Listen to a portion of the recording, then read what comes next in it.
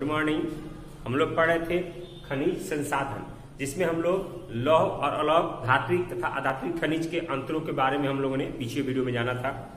अब आप लोग का है धात्विक खनिज, लौह, यानी धात्विक खनिज, लौह। इसमें कौन कौन से खनिज आते हैं, इसके बारे में हम लोग पढ़ेंगे। तो लौह धात्विक खनिज में, लौह खनिजों में निम्न खनिज आते हैं, जिसमें लौह अयस, मैग्नीज, क्रोमाइड पायराइड निकिल आदि ये धात्विक खनिजों के सबसे सुंदर और सबसे बढ़िया उदाहरण है। और ये सारे जो खनिज हैं, वो आपको किसी भी उद्योग के आधार हैं। इसमें लौह अयस पहला है लौह अयस तो इसको लौह अयस पहला है। तो ये आपको जो है, ये किसी भी लौह अयस्क, किसी भी उद्योग का रीढ़ कहलाता है, किसी भी उद्योग का ये जननी कहलाता है। क्यों? क्योंकि लौह अयस्क से लोहा का उत्पादन होता है और हम जानते हैं कि लोहा से ही किसी मशीन का किसी फैक्ट्री का निर्माण होता है। तो जब तक लोहा का उत्पादन नहीं होगा तब तक किसी फैक्ट्री या किसी मकान या किसी आ, मशीन का निर्माण नहीं हो सकता है। तो लोहा पे सब चीज़ निर्भर है। हम लोग देख भी रहे हैं कि लोहा का उत्पादन लोहा का क्या क्या काम है हम आसपास में देख भी सकते हैं। जितनी भी गाड़ियाँ घोड़ी गाड़ियाँ चलती हैं वो जितने भी आपके मकान बन रहे हैं सब में लोहा का इस्तेमाल किया जा रहा है।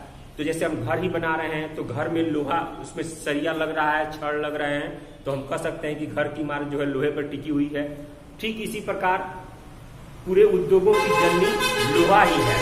तो लोहा के द्वारा किसी भी उद्योग का विकास होता है, इसलिए हम कहते हैं कि लोहा उद्योगों की जननी है, या लोहा हमारे आधुनिक सभ्यता की रीढ़ है, उद्योगों की रीढ़ है।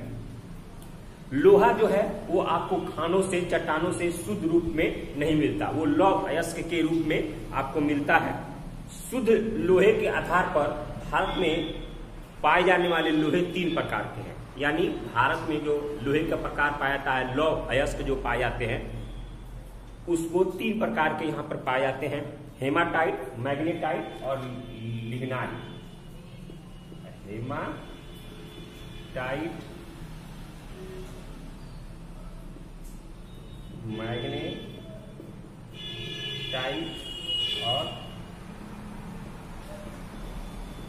लिग्नाइट। तीन प्रकार के लोहा हमारे यहाँ पाए जाते हैं, लौ अयस्क के रूप में। इसमें भारत में पूरे विश्व का जितना लोहा है, उसका लगभग एक चौथाई भाग लोहा भारत में विद्यमान है।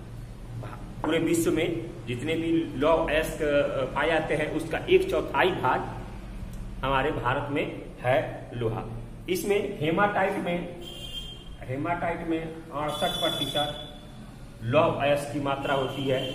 मैग्नेटाइट में 60 प्रतिशत लोहे की मात्रा पाई जाती है और लिग्नाइट में आपको 40 प्रतिशत लोहे की मात्रा पाई जाती है। 40 प्रतिशत लोहे की मात्रा आपको पाई जाती है। ये लौ अयस इसमें पाए जाते हैं। तो इस तरह हम देख रहे हैं कि हेमेटाइट जो है, वो लौ अयस्क का सबसे अच्छा उदाहरण है और लौ अयस्क के रूप में सबसे बढ़िया आपको लौ अयस्क है। उसके बाद मैग्नेटाइट उसके बाद लिग्नाइट अब इसको हम लाल अयस्क के नाम से जानते हैं। लाल अयस्क इसको हम कहते हैं। मैग्नेटाइट को हम कहते हैं। काला अयस्क। काला अयस्क और ये पीला अयस्क। यानी लौ अयस्क मुख्यतः तीन तरह के लौ अयस्क लोहा के अंश के आधार पर आपको बांटा गया है, जो मुख्यतः तीन है, हेमाटाइट, मैग्नेटाइट, लिग्नाइट। हेमाटाइट में अड़सठ परसेंट लौ अयस्क पाया जाता है, इसे लाल अयस्क के नाम से जानते हैं। मैग्नेटाइट 60 परसेंट पाया जाता है, इसको काला अयस्क के नाम से जानते हैं। लिग्नाइट में 40 प्रतिशत तक आपको लौ अयस्क पाया जाता है, इसे पीला अयस्क कहते हैं। तो ये लौ अयस्क का भंडार है। ज़्यादा आप लोगों को देखना हो तो आप अपनी किताब में देख सकते हैं। अब इसका है, इस लौ अयस्क का वितरण।